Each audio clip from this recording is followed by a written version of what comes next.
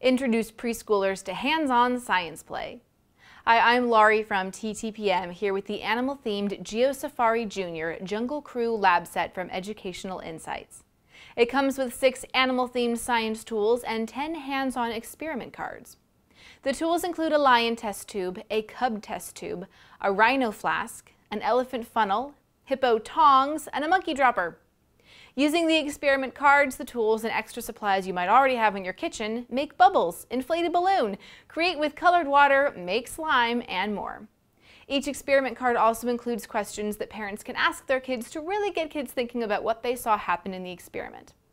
The Jungle Crew Lab Set makes a nice first science kit for young kids ages 3 and up.